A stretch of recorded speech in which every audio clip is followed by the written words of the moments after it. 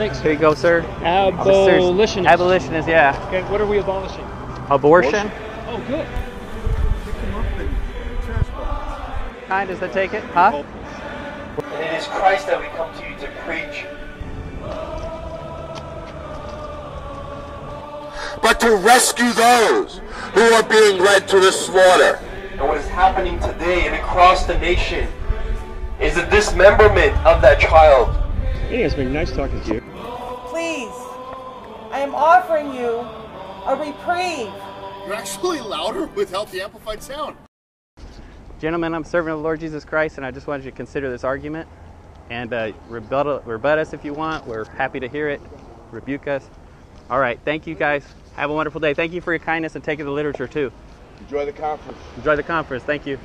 Come on, man. I give you one of these. We're all brothers and sisters in Christ, and we're here to shine a light on the Holocaust.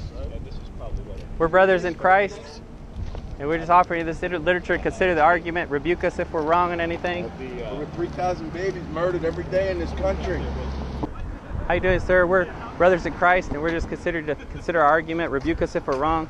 We're not afraid of being rebuked. You got one? All right. be rebuked? Huh? If we're wrong, if we're wrong, we're, we're not afraid of being rebuked. We want to know if we're wrong about anything in our literature that's incorrect. Does that make sense? So, like, I'm handing you something, but I'm not telling you you should like just accept it, but read it and consider it. And then if we're wrong, please rebuke us and help us see it clearly. Does that make sense? Why? Why would it, Why would someone think you're wrong? Uh, well, people think other people are wrong for lots of different reasons. Your cause is uh, to prevent abortion, Our cause is to advance the gospel of Jesus save Christ. life. Oh, okay. Our, our cause is to advance the gospel of Jesus Christ, and we believe that uh, child sacrifice and and Bible believing Christians are an antithesis to one another, and that we will, you know, Christians are going to rise up and end the Holocaust. And and for some reason, it's like I was asleep to the Holocaust, and we feel like the body is asleep because I was. No no temptations overtaken uh, you that's not common to man. So we're trying to exhort brothers and sisters to look at what we're saying, and then just consider that, and uh, and then obey Jesus Christ according to that. We're not trying to teach people to follow us. So Yeah, and and uh, so do you got one of these already? I do. All right, can I give you one of these as something to Sure, consider? sure. Uh, it's just something that's on my heart because I didn't know, and, and even I was canceled by Did you counseled get- by a got pastor. of those? Did you get one he got one of these? I don't know if he got one of these. One This is, yeah. Thanks. There you go. I appreciate you taking it, the literature, yeah. and stopping to talk with me. I appreciate Yeah. your kindness. Yeah. Any so, questions? So, uh, so if I'm pro-life and believe abortion is murder, we believe the same thing. Um, well, it depends on what you mean by pro-life. Um, we are we, what we what we believe is that our authority comes from God, and so we need to say what God says. So, if you say I'm pro-life and I agree that a 20-week abortion ban is a good thing, well, we would disagree because we think that Jesus says, "Thou shalt not murder," because the child is created in the image of God, Yeah. and so we would say, no, we don't support that pro-life position, and unless the pro-life position is what Jesus says, then we, we don't support that.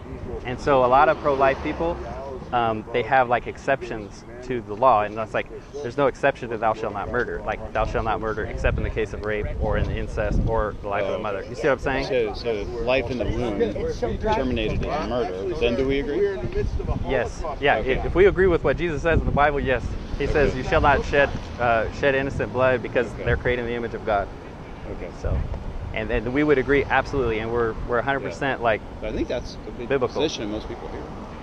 yeah. So a lot of people take that position Yeah. in their in their ideas, but not in their actions, and so a lot of people Okay. will support uh, a bill or like something that is exceptions in it, Okay. and they'll say, well, it's all we can get, right? Does that make sense? Like they'll say, well, we'll have the rape exception because that has 99% of abortions. No, I wouldn't. I, I, I wouldn't. I wouldn't support that. Awesome. Then you then you yeah. then we would agree. But a lot of people that say they're pro-life do agree with that. And when we say we're not pro-life, what what we're trying to draw a distinction is not like a title that we're proud of, Mhm, but mhm. an abolitionist. Abolition means to forcibly put an end to. All rite. To abortion. Yeah, to Yeah. abortion. It's a very Yeah, yeah. clear term, and it's Sure. we're trying to stop the right of abortion from taking place. And pro-life is kind of an ambiguous term where. Um, pro-choice people are pro-life, and it's just all the- out there. So we're trying to draw a distinction, draw a line to say, hey, we, we really want people to move to the abolitionist mindset. It's not really Okay. So you mentioned you mentioned action. What kind of action does the church need to take? well. What I always say in what I do is um, I listen to the Lord Jesus Christ. It says, "Do unto others as you would have done unto yourself." And so, if we would view child sacrifice in the same way that we view, say, five-year-olds being murdered, mm-hmm. or in the, in the booklet it talks about, you know, there's a park that Okay. pedophilia was at. Okay. What would you do if we will view abortion in that same way and listen to the Lord Jesus Christ? Like, for me, the answer is, I would want someone to come out to a place where there's 5,000 influential men in our nation and plead with them to consider what we're saying, what really what the Bible is saying, what God has woken us up to. So, so that So action, I'm doing that. action then is go to those 5,000 influential men and Well, that's what I'm Plead with doing them. because that's how I answer the question: What does Christianity, or what would I want done for me if I was if I was an unborn, a a preborn person going to be murdered? Right, I would want someone coming and pleading with influential people to say, "Hey, would you please stand up?" You know, so are you doing that? that's what I'm doing right now with, with you. So that's my answer, Okay. right? But but the answer for everybody is going to be different because So let's say I'm in. Okay, Yeah, so, yeah. so what action would you admonish me to take? Answer the question that Jesus says, "Do unto others exactly so as you would like done to yourself." Right? Okay. answer that question. If you're doing that, I have nothing to say, right? And I can't judge you on your method. Okay. But the reason I don't want to talk about method with people, I'm happy talking about method like generalities, but So is it accurate to say that you, you feel that there's a lot of inaction amongst Christians? uh, I feel there's there's inaction or action that is misplaced. Okay. You know, like uh, yeah. So it's misplaced actually. It's not it's not like for for example, like Crisis Pregnancy Center. A lot of churches will support that, right? Right. But they aren't actually doing anything to end abortion. Right. They are doing a Christian service, but it's not actually ending abortion or even working towards that goal. So what action should we be taking? Uh, Thank you. I could give you examples of action that we have taken, but I'm not prescribing something. That's what I'm asking. Okay, great. So in Texas, Christians in Texas put forth a bill of abolition. Like last week, I was in Texas, Okay. uh, rallying to support is HB 948. It's a bill that would abolish abortion in Texas and uh, also stand up against the federal government, uh, Roe versus Wade, and say So you went there to support that? I went there to support that because that bill's going through right now. Okay. Trying to get churches to say, hey, look, there is an end. Like it, te- Texas could literally end abortion this year, and defy the federal government, and that would that would uh, be an example of follow. And that's just some brothers in Christ that were there that started to go to the work and say, no, this is what the law says. This is what we can do, and they're putting that in action. So so your call to action then would be support uh, abolitionist type anti-abortion movement. Is that, is that what I hear?